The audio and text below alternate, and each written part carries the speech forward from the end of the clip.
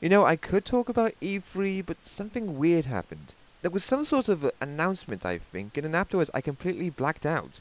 I just woke up to find my entire room is in a bigger state than it usually is. I just don't... That explains a lot.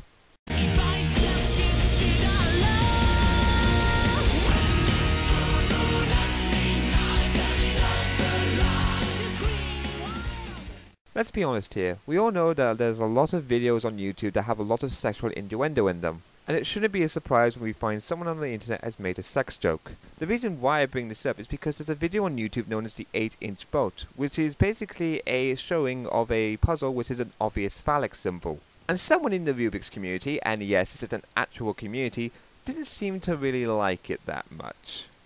So I'm sure many of you have seen Oscar Van Deventer's video about his 8-inch bolt. This is a response to that video, and is intended for mature audiences only. If you're young, I would highly recommend you get your parents to watch this video first. Oh, it's a good thing I got my mum to see it then. I think she said the video was shit though. Now, I have held Oscar in high regard over the last several years. Every time he uploaded a video, he just never ceased to amaze me. I always just felt dumbfounded every time he showed off one of his new puzzles. His brilliance even inspired me to upload a parody of him, one that Oscar said was a tribute to his work. This is why his video was very unexpected to see from him. I'm certainly not surprised to see anything like this generally from our culture, but to see it from such a respectable individual really shocked me. A person that I highly respected is making sexual innuendo? yeah, the person he's talking about is a grown man. I think it's perfectly fine for him to talk about fucking. From what I've heard, sex is truly a beautiful and intimate experience. yes, from what you heard, because there's no such thing as porn. I've really come to appreciate the value in it, not only by my actions, but by my words. To see someone I've held a lot of respect for devalue it by joking about it was really hard to take. You're so surprised that someone that you respect makes a sex joke which is devaluizing sex? Even if it is devaluizing, it's already been devaluized to death with all the sex jokes, sexual innuendo, and even sex itself on the internet. And there are people that I respect who screw around with sex jokes. I've really appreciated the cubing community because we've come from different backgrounds to enjoy solving puzzles and get the fastest at it. It's really a shame to see someone so prominent bring a sexual slur into it. How could someone bring something like that into our community? Uh, I feel so dirty. And I really feel silly having to remind everyone about this, but impressionable kids are active in the community.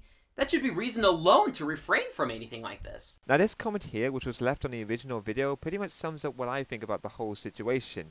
And sir, for this lovely comment, I love you, and I want to have your babies. In my view of it, the only way this could be considered sexual innuendo is if the person watches it considers it sexual innuendo. The only way that the child could see it as sexual innuendo is if they know about sexual innuendo, or sex to that matter.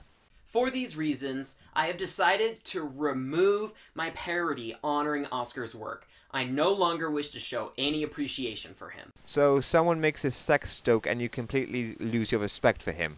This just goes to show that you really need to grow a pair. If any of you are sympathetic with me, I would encourage you to go to his video and flag it for suggestive sexual content. This will, in the very least, age restrict the video. Wow. This goes to show that you're so offended to the fact that you found out that your Messiah is actually a human being. Now, I know you guys are thinking I'm making a big deal out of nothing. I know it was just Oscar's intent to have good fun. I know it was just a joke. But would any of you be laughing if the puzzle was, say, depicting a burnt US flag? Really? You're going to compare sex jokes to the burning of flags? Why not stop there? Let's compare it to the Holocaust or 9-11 or some other big disaster, because there's no limit to how stupid this argument can actually be. Sure, a flag is just a piece of cloth. Sure, it may be all in good fun. Sure, it may be just a joke. But it's really a symbol for our freedom that resulted from the immense shed of blood, sweat, and tears from our past heroes. Yes, the flag represents freedom. And you know what part of that freedom is? To make jokes about fucking like animals. But here you are trying to censor someone because you saw sexual innuendo in it. I hold sex in a very similar regard. Yes, sex is so pure and sacred, and no one should make fun of it. By the way, me and Jen are holding our annual sex orgy every Sunday. Now, I also understand that this will bring new viewers to Oscar's channel, and even a decent profit for him, but I don't see how the ends are justifying the means here. Oscar, it would really mean so much to me if you would reconsider letting the public view this. Just because you don't like it and you want to whine about it doesn't mean that he's going to take it down. He has the right to keep it up because that's his freedom to do so.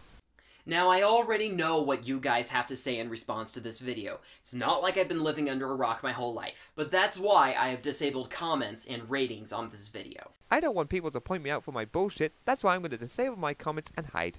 It's a good thing that no one makes videos pointing people out on their bullshit. The week. You know, I would say a sex joke to end this video, but to be honest, it's hard to come up with and I feel royally screwed. With that being said, this is L Entertainment. And, um, end.